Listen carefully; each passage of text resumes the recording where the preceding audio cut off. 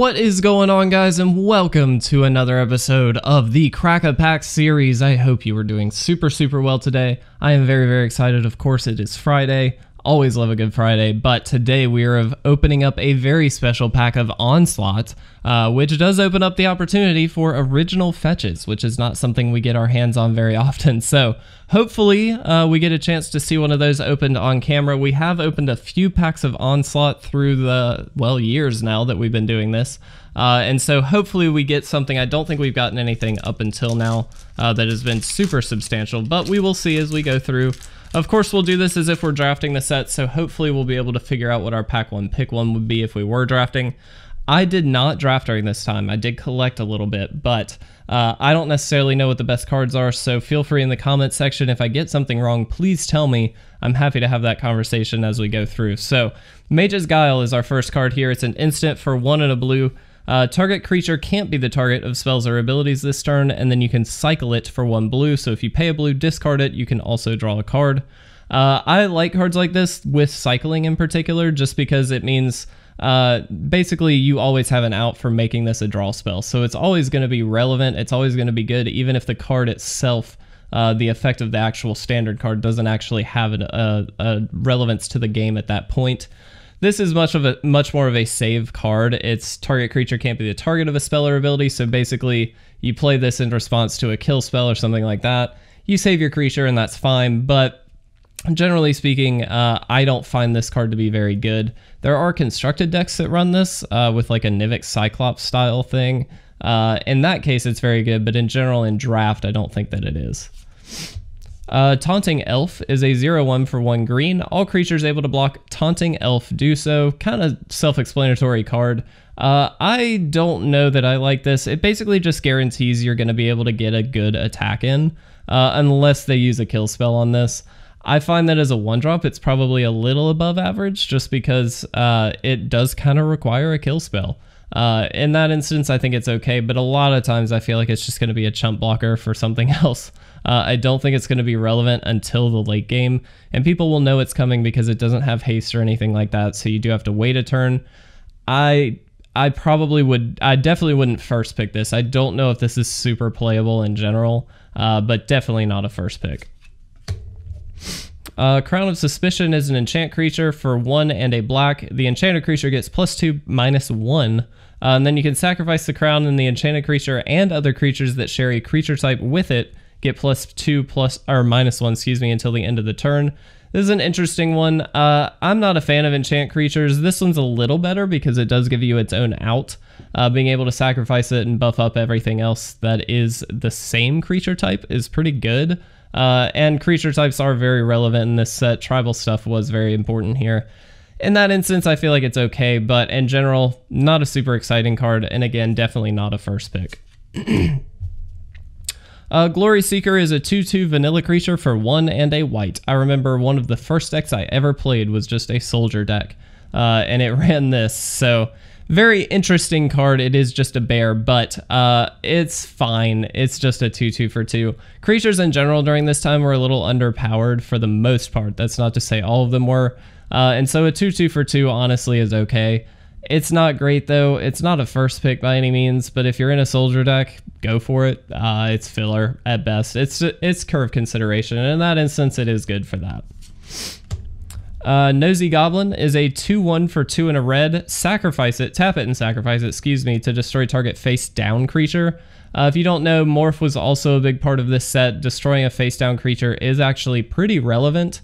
Uh, and so in a Goblin deck, this is pretty good. This is not a reason to be in the Goblin deck, though. That's a bit of a corner case. I mean, you're going to see Morph cards if you're drafting this set. I think that's just normal.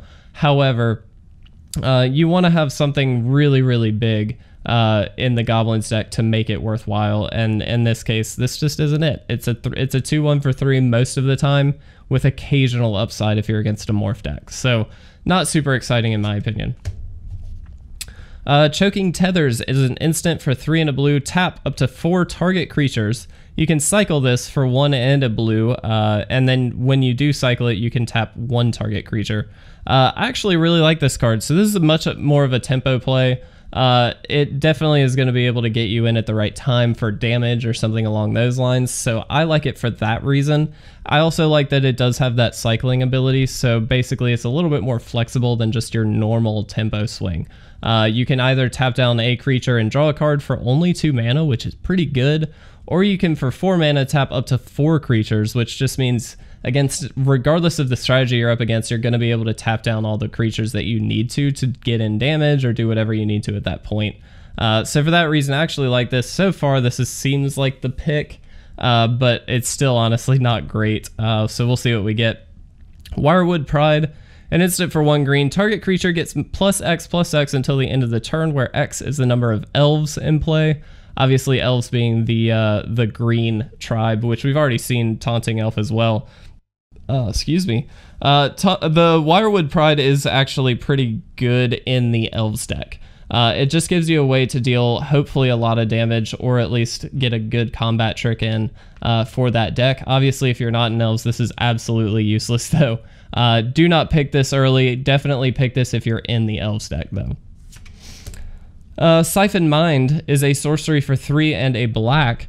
Uh, each other player discards a card from his or her hand. You draw a card for each card discarded this way. This is much more at its home in like Commander or some multiplayer strategy. Uh, this is not necessarily very good in a 1v1 game. Uh, and so for that reason, I don't like this at all. Uh, it's four mana, discard your opponent, a random card from your opponent's hand. And by random, I mean they choose it, so you think it's ran- you feel like it's random. It's not really helping you that much, and then you draw a card. So it's like, eh, that's not very good for four mana. So not super exciting there. Uh, Demystify is an instant for one white, destroy target enchantment. This is a very straightforward card and absolutely a sideboard card. There is not enough reasons, in my opinion, to play a destroy enchantment effect in Onslaught. I know there are a number of enchant creatures and things like that that you may think are like, man, I have to have this card. But I believe that they are not the most impactful cards, and so for that reason, I would much rather sideboard a card like this. Uh, but if you're in white, definitely pick it up. Uh, Screeching Buzzard is a 2-2 with flying for 3 and a black. Uh, and when it's put into the graveyard from play, each opponent discards a card from his or her hand. I actually kind of like this card. Uh, it's probably going to die fairly quickly. It is a 2-2 for 4, but it does have flying, so in certain cases you're going to be able to deal some damage at least for a turn or two before this dies. So I like it for that reason, uh, and then it does have the, the random upside of discarding a card from your opponent's hand when it dies. I like that a lot, uh, so I don't know if it's better than Choking Tethers, but I'll keep them both here for now. Uh, Secluded Steppe is a land. When it comes into play, it comes into play tapped. Uh, and it taps for white, and then you can cycle it for one white. This is a, a cycle of lands through uh, this set where they only produce one color of mana, but you can cycle them. Uh, they also come into play tapped. These are actually pretty good. Being able to cycle these away is very, very useful, especially in draft. Uh, we all know the feeling when you get flooded, it's terrible. But being able to cycle this away and have another shot at a better card is fantastic early game, you just throw this out when you don't need to, to use that mana, and it works out very, very well. So I like this card a lot. Uh, definitely would pick this, but again, I'd rather be in white or have a reason to be in white before picking these up. Uh, our first uncommon here is Lightning Rift. It's an enchantment for one and a red. Whenever a player cycles a card, you may pay one of any color, and if you do, it deals two damage to target creature or player. This is an interesting one. It's a little bit more of a play around or build around card uh, for limited, and I try and stay away from those a little bit, depending on how easy it is to manage. Uh, I think in red, cycling is a little bit more difficult to come by. I might be wrong on that. Uh, there are definitely a lot of cycling cards that we've seen, but I don't believe anything has been in red. Uh, and so for that reason, I would shy away from a card like this. You have to make your deck the cycling deck, uh, and then be able to pay that extra mana to keep it going uh, and keep damaging uh, either creatures or the opponent. And so it's good, but there is uh, there's that build around dynamic that I don't really love. Uh, and so th- uh, this may be incorrect. This may be a really good card, but I would I would shy away from it. Uh, Starlit Sanctum is a land. Uh, you can tap it and add one generic mana to your mana pool. You can pay a white and tap it, sacrifice a cleric, and you gain life equal to the cleric's toughness. Or you can pay a black and tap it, sacrifice a cleric, and target player loses life equal to that cleric's toughness. Obviously, this is meant to be in the Clerics deck. Uh, if you're not in the Clerics deck, this does very little for you. Um, but if you're in the, the white-black Clerics deck, this is kind of a useful-ish tool. I would definitely run it, uh, just to have the ability to nuke the opponent for a few damage if need be, uh, or gain a few life if need be, though I feel like definitely nuking the opponent is going to be the thing that you want to do most of the time. Uh, and so I like this for that deck. Obviously, you need to be in that deck first, though. Otherwise, there's no reason to even pick this up.